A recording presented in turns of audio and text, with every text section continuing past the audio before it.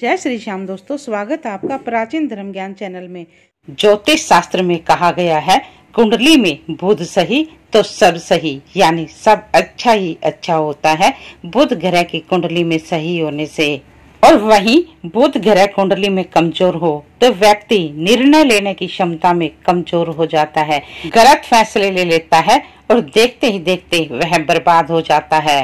क्योंकि ज्योतिष शास्त्र में बुध ग्रह को ग्रहों में राजकुमार माना गया है। इसीलिए बुध ग्रह को बुद्धि, एकाग्रता, वाणी, त्वचा, सौंदर्य और सुगंध का कारक माना गया है। और वहीं बुध ग्रह कुंडली में कमज़ोर हो जाए तो व्यक्ति जुए सट्टे की आदत में पड़ जाता है। उसको जुए सट्टे की लत लग जाती है। नशा करने लग जाता है। उसके बिज़नेस फेल हो जाते हैं। जीवन में तरक्की रुक जाती है। और कहीं डंग की नौकरी नहीं मिलती। इधर उधर छोटी मोटी नौकरी करता है और त्वचा और गले के रोग होने की आशंका भी बढ़ जाती है और इसके साथ साथ उसकी संतान भी कष्ट में रहती है। ऐसे व्यक्ति का किसी भी काम में मन नहीं लगता और देखते ही देखते उसका सब कुछ बर्बाद होने लग जाता है। तो आज मैं आपको बुद्ध ग्रह को मज़बूत करने के लिए कुछ ऐसे उपाय बताऊँगी जो बहुत ही चमत्कारी और गुप्त उपाय हैं।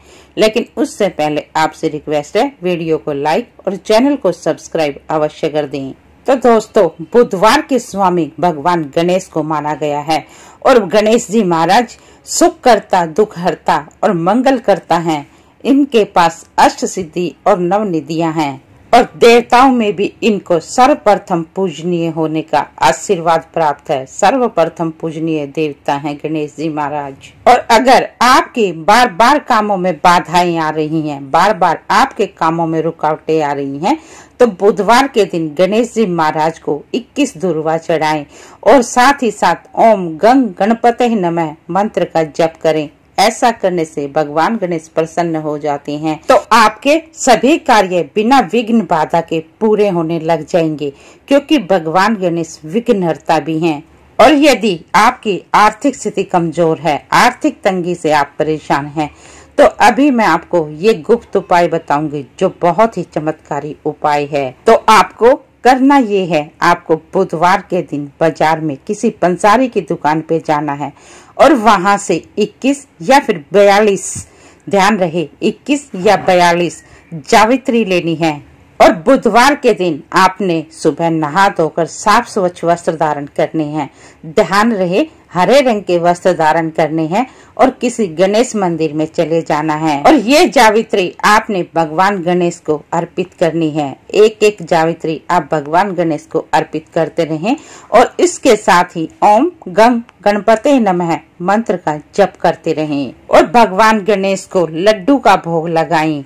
ये बहुत ही चमत्कारी उपाय है इस उपाय के करने से।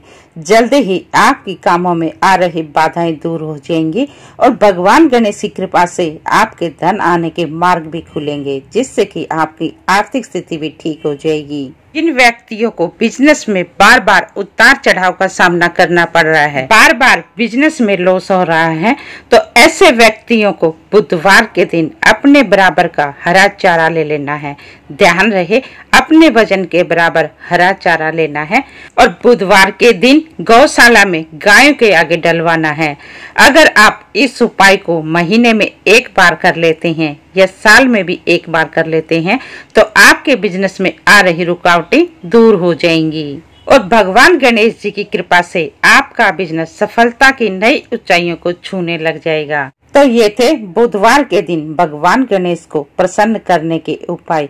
यदि आपको ये जानकारी अच्छी लगी हो तो वीडियो को लाइक और चैनल को सब्सक्राइब अवश्य कर दें। यदि आपके जीवन में भी कोई परेशानी है, कोई कष्ट बना हुआ है तो कमेंट बॉक्स में अपनी परेशानी, अपनी डेट ऑफ़ बर्थ लिख दें। हम आपकी परेशानी का कोई उपाय बताने की अवश्य कोशिश करेंगे। तो मिलते हैं अगले वीडियो में एक नई जानकारी के साथ।